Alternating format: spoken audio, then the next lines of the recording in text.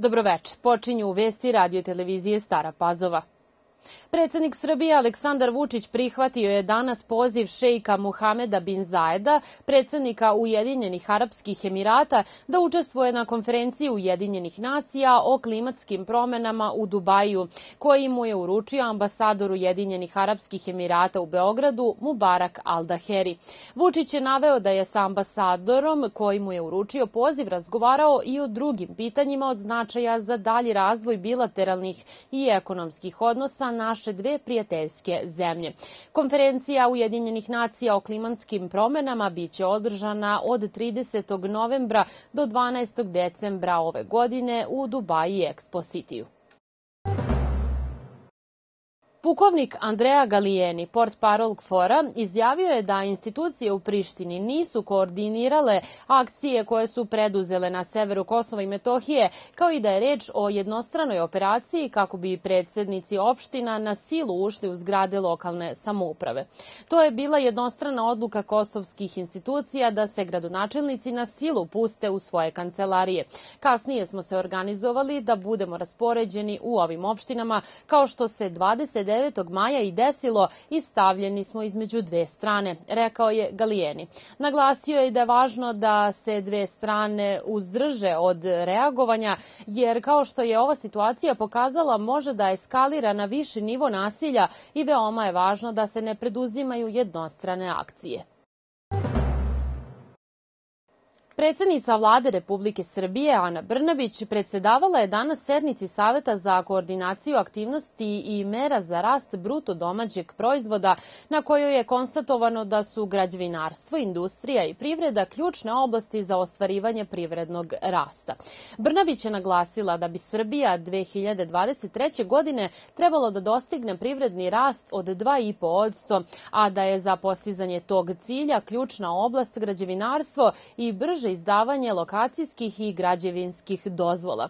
Premijerka je posebno izdvojila oblast turizma, čiji potencijal nije do kraja iskorišćen i najavila povezivanje sa turoperaterima zemalja čiji su građani zainteresovani da posete Srbiju kao njima zanimljivu destinaciju. Ministar financija Siniša Mali izjavio je danas gostujući u dnevniku RTS-a da novca u državnoj kasi ima za sve povišice i jednokratne pomoći građanima Srbije. On je istakao da set ekonomskih mera koje je u sredu najavio predsednik Aleksandar Vučić predstavlja kontinuitet mera preduzetih još od kada je krenula epidemija koronavirusa. On je napomenuo da je set najavljenih mera usmeren ka podizanju životnog standarda građana Srbije i ukazao da su povećanja povećanja plata i penzija više od nivoa inflacije. Mali je negirao tvrdnje da je reč o merama koje se donose kao deo početka izborne kampanje. Maksimalna maloprodajna cena dizela i benzina biće za 2 dinara više u narednih 7 dana, tako da će dizel koštati 184, a benzin 178 dinara po litru, objavilo je Ministarstvo unutrašnje i spoljne trgovine. Nove cene se objavljuju svakog petka do 15 časova, a vlada je produžila uredbu o ograničenju cena naftnih derivata do kraja meseca. U subotu 10. juna u periodu od 12 do 18 časova u potpunosti će biti zatvoren put Stara Pazova Golubinci zbog radova na delu puta od nadvožnjaka ka Golubincima.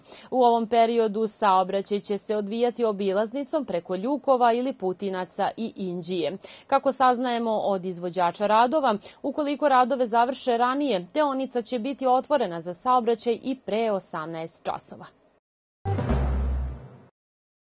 Policija upozorava da će tokom vikenda pojačati kontrole u blizini mesta gde maturanti organizuju proslave i apeluju na mlade da ne voze pod dejstvom alkohola. Od početka godine u saobraćenim nesrećama u Srbiji poginulo je 187 osoba, među njima 68 starijih od 65 godina, 36 odsto više nego prošle godine, saopštila je Agencija za bezbednost saobraćaja.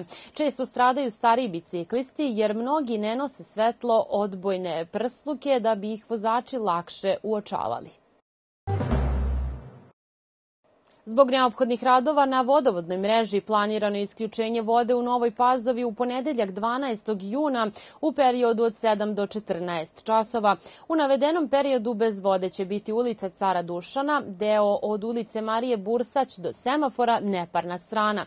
Za sve dodatne informacije možete kontaktirati vodovod i kanalizaciju na telefonski broj 022 321 265 od 0 do 24 sata.